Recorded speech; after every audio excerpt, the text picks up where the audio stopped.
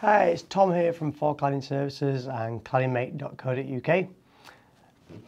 Today I'm going to talk to you about why you should change a seal for a vacuum lifter and also when you should change them.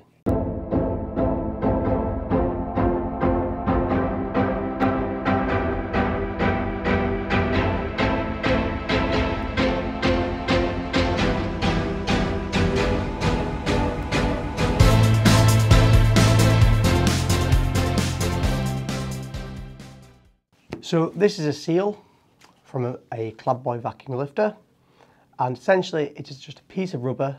It will sit in a suction pad of a vacuum lifter. These things come in all shapes and sizes and different compounds but and they all have the same job. So the seal is a part of vacuum lifter that connects whatever it is you're lifting to the vacuum lifter itself and because of that, it is the most important thing to look after. Seals are the thing that make a vacuum lifter safe or unsafe. And if a vacuum lifter becomes unsafe, then there can potentially be quite deadly things because things can drop from them and hit people. And for this very reason, this is why that you should look after these seals. And if you're not looking after them, if you've got any signs of any wear or damage in them, you should change them. When it comes to safety, safety is not a thing that you should be a cheapskate about.